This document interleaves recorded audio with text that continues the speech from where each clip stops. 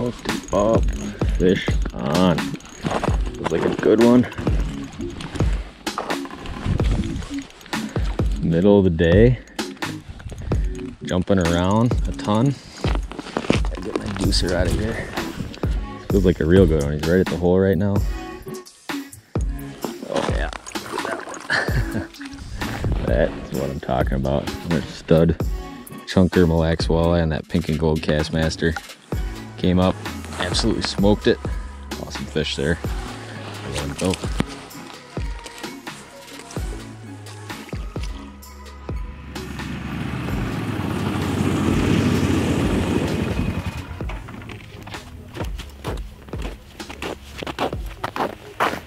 What's going on guys? Today we're out here one of my favorite walleye lakes. We're out here on Mille Lacs Lake in Minnesota. We're doing a bunch of walleye fishing. It's the middle of the day now. I've caught a bunch of walleyes already, um, but I wasn't sure about what to make a video on today. So I'm gonna make it on the one thing that I don't see a lot of videos on and the one thing that catches way more fish all season long, all winter long than anything else. That's being very efficient on the ice. Um, you know, the terms get thrown around like ice trolling, hole hopping, stuff like that. But today I'm gonna talk about how you can come out here on a lot of these lakes, especially like Mille Lacs, where you have a huge body of water, a ton of structure, and fish roaming around both structure and open water, um, and how you can basically find fish quickly, um, stay on them throughout the day, and uh, yeah, just overall catch a whole bunch more fish. So today we're gonna talk about things that make me more efficient on the ice. All right, so first things first, it starts with obviously finding a spot to fish, right? And the biggest thing with that is having, you know, basically having a GPS with LakeMaster or Navionics mapping on your machine, right? So whether you're in a truck, whether you're in a snowmobile, whether you're walking, um, whether you're on a four-wheeler like I am, basically you have to have the information in front of you to know where your spots are. It saves a million hours and a million ice holes um, when you can just look right at the graph and see where you are. So today we're out here fishing mud flats on Mille Lacs and we're coming to one which I have not yet fished. And basically you can see the flat here. I'm not sure if the camera's gonna focus on it, but you can see here, you know, it doesn't take me any time at all to locate this piece of structure because I got my LakeMaster map right on the four-wheeler here and as I'm bombing around you know I know right where everything is. I got all my waypoints on here and uh, it's super easy to just pull up and start fishing. So you know I know right where I am and that is huge. You have to have a GPS with some kind of lake mapping uh, with you. Otherwise it's just going to take way too long to um, get on fish. And basically the way I wire mine up because I know this question will get asked I wear it straight into my battery. You know if you have on my four-wheeler because I never really hole hop with this unit I don't really use it for sonar but I want my maps on there and that's why I keep it here. I transfer all my waypoints from my summer GPS onto this one because this one sits on my four-wheeler all winter long so I know where I'm at. And uh, you know, if you have like a Helix 5 ice unit that has GPS, um, I'm pretty sure all the Helixes have GPS. So if you're running like one as a flasher, you know, get a LakeMaster chip for it right away so you can see where you are as you're walking around and hole hopping. Um, that'll save you a lot of time. But anyways, we found our spot now. Now the next thing we have to do is obviously drill some holes. And fishing on Mille Lacs is not drilling two holes and fishing. It's drilling a million holes and uh, kind of gritting a spot out, so to speak. You know, you're gonna catch a way more fish if you punch a ton of holes to start, before you even start fishing, than if you drill a hole, do a little fishing. Drill another hole, do a little fishing. So the first thing I wanna do is drill this out, right? So basically I'm gonna kind of show you how I do that. Looking at the spot on my map, I'm gonna show you exactly how I drill out a spot. So it's time to drill some holes. And once again, it comes back to what we have on the machine here. You know, nothing's tucked away in a sled. Um, nothing's hard to get at. So my ice auger is mounted right up here. There's a million different kind of auger racks you can buy, whether you're on a snowmobile, four-wheeler, whatever it is. You can mount them to the front, you can mount them to the back, you can mount them in a tube on the side, kind of whatever you want. But the, the point is being that your auger is very easy to get at and it's real quick to go around and drill a bunch of holes. Now, the way I like to drill my holes is basically if I pull up to a mud flat like we're on right here, I don't want to just punch holes right on the top, right? I want to cover a variety of depths. The middle of the day. These fish are roaming around probably faster and a little bit more spread out than they will be this evening. And uh, I kind of want holes all over a bunch of different depths now. I'm starting down here on this end of the flat and what I'm going to do is I'm going to get kind of right on the offside, outside corner of it and the deepest spot and I'm going to kind of drill up and over it and then I'm going to turn around on my four-wheeler. I'm going to drill up and over it again and I'm going to kind of make grid it out. I'm gonna make a line of holes going this way like this, a line of holes going this way like this, and then a line of holes outside in that deeper stuff. So it's important when you're drilling holes to cover a variety of depths, number one, and to get a big enough spread. You know, it could be very likely that after I get this spread, you know, there's gonna be just fish on one side of this or just fish up on the top of this. And that lets me know I gotta drill some more holes up on the top to follow those fish around. But basically the way I drill holes, if you don't feel comfortable doing it this way, you don't have to. But I basically stand on my four-wheeler, start the auger, punch a hole, and that way I can see where I am at all times on my GPS. I'll drive 10 feet, drill another hole, drive 15 feet, drill another hole, drive 10 feet, drill another hole turn around, come back over the top and drill another line, line after line after line. And this is kind of the quickest way for me to do it. And the big bonus is while I'm drilling holes, I can see right where I am because my graph's right on my four-wheeler. So really whether you're drilling out a big flat like this, or if you're drilling out a small piece of structure and want to make sure you're right where you are, um, it's super easy to just kind of sit on the four-wheeler, hop off if you have to, punch a hole, and then you know right where you are.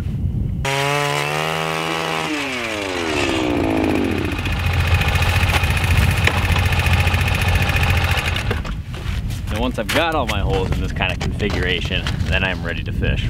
Now, the next thing we're gonna do, obviously we need a rod. Now, like I said, none of this stuff is so tucked away that it's impossible to get at.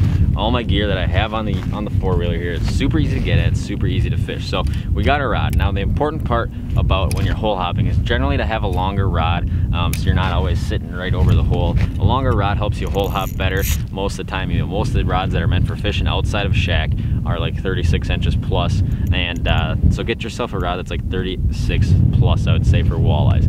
Um, doesn't really matter too much, you know, brand-wise, but uh, get yourself a longer rod. You're gonna be a lot happier when you're doing this hole hopping program bait wise, you want to fish something that gets noticed, number one, and something that doesn't take a long time to get to the bottom. The reason for that being, I have no idea if there's any fish on this spot, right? So I want to fish something big that gets noticed very quickly, either something flashy or something big that I can yank around up high in the water column and get noticed. So the two baits I have on is a heavy Kastmaster here that's been catching fish all day for me. The other one I have tied on at all times, especially when I'm still searching for fish, is an Acme Hyper Rattle. Very heavy bait. I can drop it to slush. I'm not going through and clearing all these holes out um, with a scoop. So something that can get down there very fast. When I get this down there real fast and hold it five, six feet off bottom and start pumping that rod, that thing walks that circle and is real erratic. And even if a fish isn't gonna eat this, they're gonna pop up and at least I'm gonna see them on my graph and know that there's fish in the area. So the other thing when you're doing this kind of run and gun hole hopping deal is you don't want to be digging around for a minnow bucket. There's not a ton of room on here for a minnow bucket, so I got a small bucket in here for kind of like the main amount of minnows, but I keep one of these bait pucks on me, so that way when I'm hole hopping, I don't have to carry a bucket around. It's real quick to just pull out a minnow head here, put it on the bait, and uh, we're good to go. So, you know, it's super simple, like I said, everything's right at my fingertips, and that's kind of the way I always design my setups, but um, my graph's right in here. You know, I like to keep my graph protected, obviously. Fits right in my storage box here. Pull the graph out, and I'm ready to hole hop. It's that simple. All right, so we're set up and we're fishing. Now, catching fish at this point is kind of secondary to just figuring out whether there's fish here or not, right? So, you know, a lot of times, like let's say walleyes are more finicky right now, let's say, um, you know, it might be more tempting to go down right next to the bottom and just bounce that spoon real nice and soft. But when you're looking for fish, get that bait up five, six feet off the bottom, so a lot of fish can see it. You know, if you're jigging right here, the walleye's not looking right there most of the time if he's 20 yards this way, but he can see that thing up high, which is kind of the reason I like to jig up high. And fish are not scared, especially in Mille Lacs, to come up five, six feet to hit a bait at all, but your bait gets noticed a lot more. The other thing which you're not gonna see me do is just do this little rhythm right here, right? That barely bounce. Rarely does that actually work, but I like to really rip that spoon pop it, get it moving, and basically that thing's flashing and rolling and darting all over the place up there, and a lot, it's getting noticed by a lot more fish. If there's a fish over here, a fish over here, he's gonna know this thing's here, and when you jig high up off the bottom, you're gonna be able to see those fish come into you. If you're jigging right on the bottom, it doesn't give those fish to come under you and mark. You're never gonna see them because they're gonna be belly on the bottom in order to come up to your bait. So keeping that bait up high, jigging it real real kind of aggressively I'll say is the important part. Now I've already been here for probably talking for like a minute just on this and uh, I haven't seen a fish. So the next thing to do is reel up and move to the next hole. You know I'm not wasting time. If I drop one thing I always say it's kind of like open water fishing you know? If you drill a hole on top of a fish's head and you throw your flasher down and that fish is off the bottom, you're gonna see the fish, right? So, you know, I'm assuming because I was jigging there for, you know, a minute, let's say, anything around me would have seen that and would have came over to me. Nothing came over to me, so I'm assuming there's no fish in my little vicinity here, and I'm gonna move right to my next hole and keep working the grid. All right, so there's kind of one final piece to the puzzle here, which is uh, you're gonna get colder doing this, right? You're not in a shack, you're constantly buzzing around different spots, checking for fish, right? So the biggest thing is here probably dress with good gear. You know, be dressed for the conditions. It's pretty nice out today. Today's like 25 degrees out, so I don't need any, you know, crazy stuff going on. But, you know, I always wear basically the same kind of stuff. And I've done a video on this in the past, but I'll kind of link it below. And it all starts with having some of the best base layers that you can have. You know, big, huge, puffy ice suits are great, um, but without the right base layers, um, they're pretty much useless. So um, I've been working with Simms for a while now, and they make some of the best products for really year-round fishing, whether it's super hot in the summer, super cold in the winter fishing there is. Um, there's one pair of long underwear that I absolutely love, um, which is the Fjord long underwear. I'll link that below. I put like Primaloft pants on above that, and then my insulated Simms bibs. And with this, I basically never get cold in any kind of conditions. Um, basically when you're drilling this many holes you're gonna want waterproof boots on even if it's not watery outside um, or on top of the ice. So I always wear my knee-high Simms boots um, and then some other great base layers. Like I said I'll link all this below. But being warm and comfortable all day keeps you on the move. You know the second you start getting too cold to want to sit in the shack you know things start to go bad you start to slow down. Now there's a lot of times you might do this one time on one spot and sit there all day because you're catching so many fish which is great. Um, but most of the time you do end up moving around, you know, two, three, four, five times throughout the day at least. Um, and there's a lot of times back in Hayward, I might move around 20, 30 times like this a day um, on a lot smaller pieces of structure. So having the right kind of stuff, you know, I keep I've got my pissy fun backpack here that I keep gloves in, uh, my food and water for the day. It's also got all my jigs in here. I've got a whole bunch of spare hand warmers in here, spare pair of gloves in here in case they get wet. Um, so like I said, being very mobile and kind of have everything right at your fingertips. I don't have to drag a big sled around with me. I don't have to go back to my shack to get something. Everything I need for the entire day to catch fish is on this machine and ready to go at any second. So, you know, this is kind of the biggest thing for me. Um, and it's no the number one way I love to fish. It's super addicting for me because I'm super high energy. I like moving around. I love structure fishing.